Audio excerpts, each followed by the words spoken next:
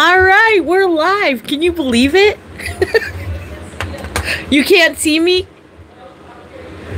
Can't see me or hear me. This is not good. All right. Oh, cool, cool, cool. I don't know if you can hear Dev downstairs. I'm having them check to see if they can hear and see me on their computer downstairs. We've been having horrible internet issues. So it was um, partially that that made me say, let's just do a live today and not try to record something. We tried to record a video twice yesterday and it didn't work. So I said, I'm just going to go on live tomorrow because, you know, Friday's our usual big video day.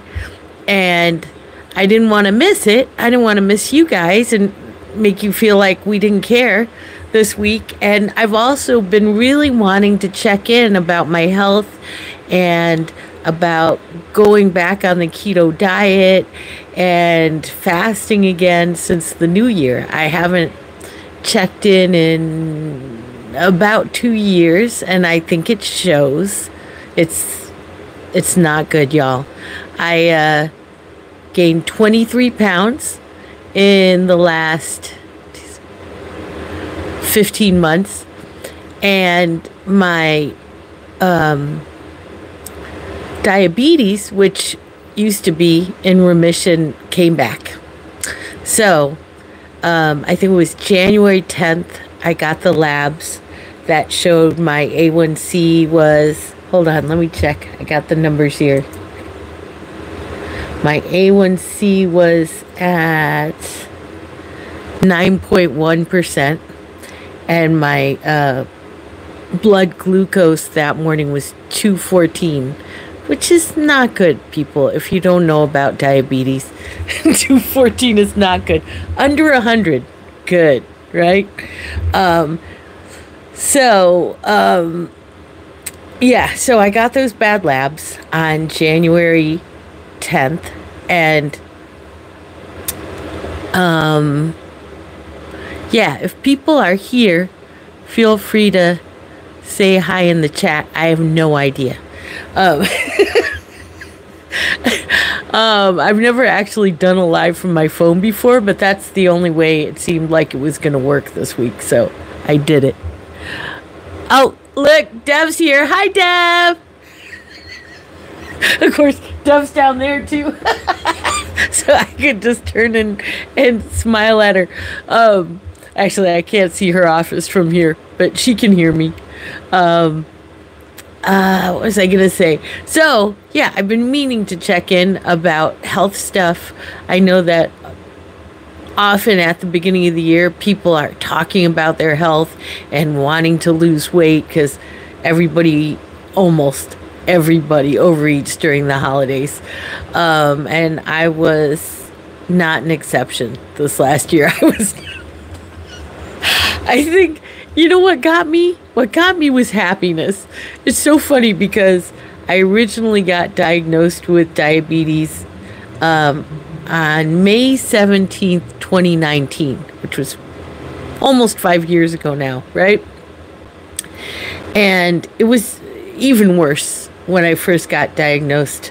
My blood glucose that day was 320, and my A1C was 11.7%. And um, yeah, my blood pressure was crazy, and I was 220 pounds. So I got scared. I really I went to go see my doctor because I was feeling like I was on the verge of a stroke all the time. And I was really tired. I felt like my body was just slowly shutting down and so I was concerned and then he got my labs back and he called me. I knew it was serious when he called me.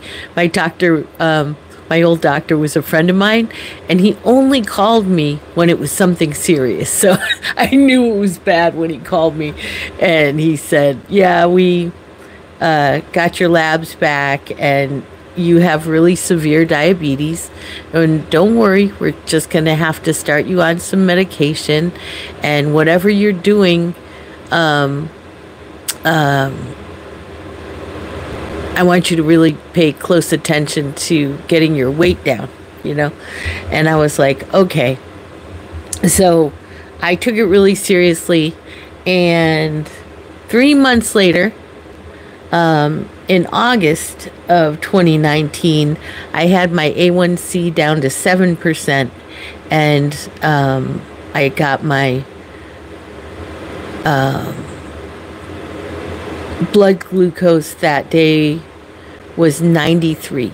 So, pretty quickly, three months, I was able to go into remission really with diabetes because if you uh, if you get diagnosed with diabetes, they're happy if you just get to seven, you know, or six and a half. They're not expecting you to ever be normal again. But actually, over the years, I continued um, with keto and intermittent fasting and some exercise and um, other things um, and got down to an A1C of 5.1. That was my very best. And my blood glucose was pretty much normal um, until November of 2022. And like I said, I just got too happy. I met the love of my life. Some of you guys know. Uh, um, and just thought I was a normal person and thought I could just eat what I wanted and I'd be fine. And I was going to get back to it, you know, the healthier things, the exercise and the keto and the uh, fasting later, you know, in a little while. But, you know, one day turned into two weeks and so on and so on. And to be fair, we did keep trying to go back to keto, but I think I just had one too many exceptions. Um, oh, who's here? JG, JG. Do we know who that is, Dev? I'm not sure, but welcome. Um, yeah. Anyway, um, so I guess a year of partying and being happy uh, led to my uh, led to my uh, uh, being at a 9.1% for my A1C and my blood glucose was 214 and I was like crap. Oh my god, why? Why? Um so yeah, I'm glad I'm glad there's two or more friends here because that's enough people to have uh, any kind of uh, A meeting I qualify for all the A's. Um, I'm a recovering alcoholic, drug addict, um, codependent, and um, today I'm qualifying as a carbaholic. My name is Sue. Yeah, it's been 44 days since my last simple carb. And I just want to say I really miss rice and pasta and bread and real chocolate with sugar. Um, all the things. I miss how they taste. I miss how they smell. Ah, cool, cool, cool. Hi, Joy. Old coworker, right? Of Dev's. That's awesome. um, uh, yeah, I miss them. I miss them like you might miss you know, an ex, right? You ever get like that about exes? You just, you miss them so much. You just want to call them, you know, at the oddest times. You, you want to be near them. Even though the last time you saw them, they tried to kill you, you still want to call them, right? That's how I feel about carbs. I love carbs. I, I could just eat them all day long. But it's been 44 days since my last carb, and so far I've managed to abstain, at least from the simple carbs. I do let myself have about 20 grams of net carbs a day, um, cause, cause, why not, right? um, yeah, yeah, yeah. I we haven't met yet, Joy. You have to come over. We'll come see you next time we're in Marin. Um, we were just there. I'm trying to think when we were in Marin last. Oh yeah, we just went camping in Marin for Valentine's Day. Uh, it was super fun. We like it over there, so you know, we won't be strangers. And let us know if you want to come this way. We're just in Oakland. It's not like two bridges. It's just one bridge. Just one. Uh, anyway, um, oh, camping was so awesome. We went to this tiny house. I wish I could show you. I wonder if it's possible to share a picture on this thing. I don't know. Let me see. I've never done a live from my phone before. No. I don't think I know how. yeah. Um Okay. Yeah, no, I don't know how to do complicated things on my phone, but we we went to this cute tiny house in Lagunitas. It was adorable. Um and it rained the entire time so mostly we hung out in the tiny house but it was really fun and we got out of the city. That's what was most important to me you know. Where do you live joy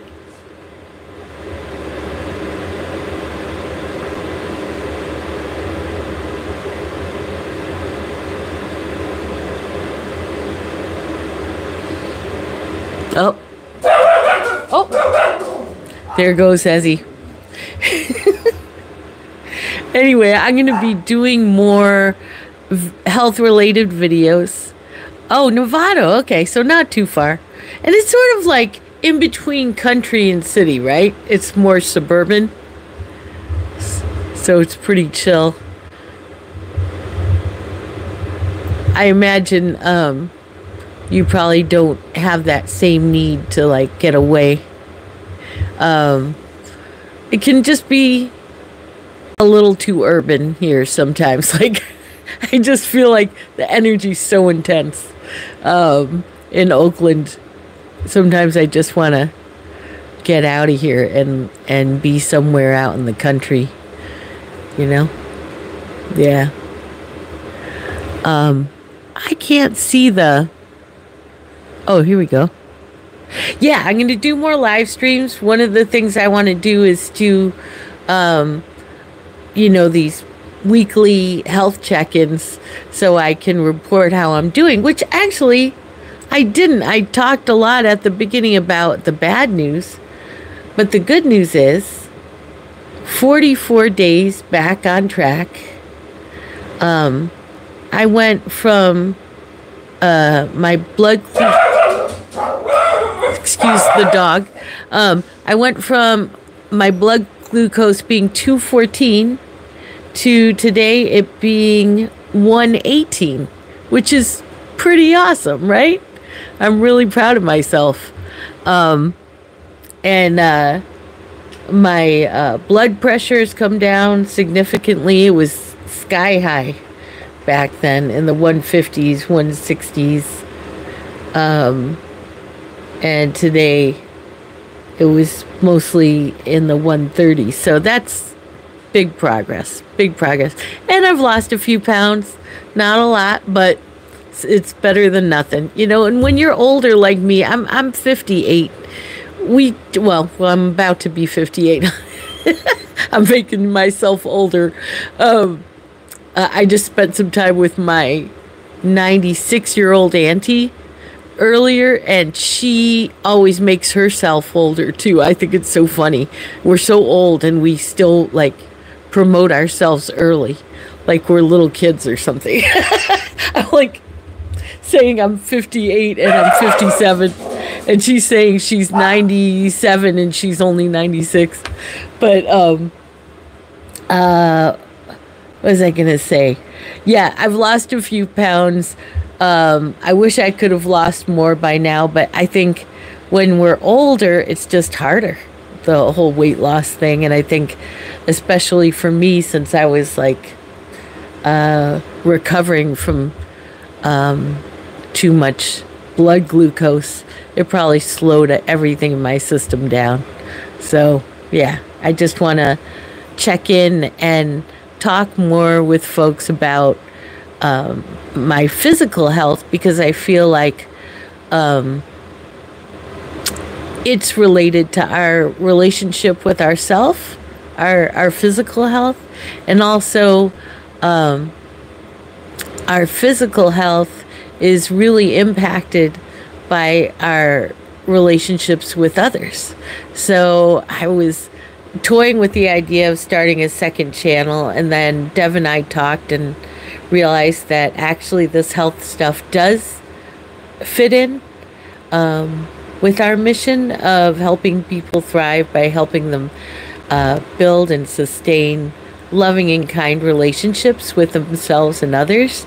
And, you know, we're just going to do it. And I have a bunch of videos from two years ago that are related to health. If you want to check out more content like that, it's in there. Um, stuff about keto and keto and mental health and, um, you know, weight loss, body image, things like that. So, um, yeah, so it's not the first time Hopeful Tribe has talked about health, but actually, now there's a whole Hopeful Tribe health section. If you look on the channel, like a few um, few rows down, there's a whole playlist that's all about health, and we'll throw this one here um, in there too. So, thanks so much for coming, Joy. Do you ever? Um, ah, you're taking the stairs. That's cool. Do you ever? Have you ever had any? Um, um, health issues that you had to deal with? Or have you mostly been healthy your whole life?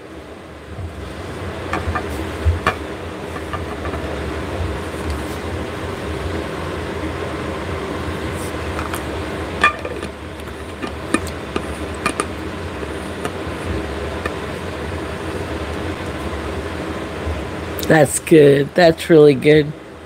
Well, I know there's a whole lot of people out there dealing with um, diabetes and um, obesity. Um, I know I'm not alone there. That's like like half the country, I think, at this point. So, so I'm hoping to be of service, um, and it also supports my health. Talking about it, I feel accountable um, to people when I talk about making healthy changes in my life you know? Yeah, yeah, no, it's good to that none of your health problems have needed more than just making some lifestyle changes. The truth is that that when I get down to a healthier weight, I don't have to worry about any of these things either, or medications or anything. Um, and I'm looking forward to that. Like finally, I actually have never been down to my goal weight since I got heavy. I've gotten close. I think I got like within nine pounds one time. Uh, but I'm looking forward to this year finally getting to my goal weight and not having to take any medications anymore. It would be so awesome. Yeah. All right. Well, thank you so much for being here, Joy, and anybody else who popped in. I really appreciate it. And um, check out the Hopeful Tribe Health section if you have time. And we'll see you later. We hope you feel loved and hopeful until we see you again.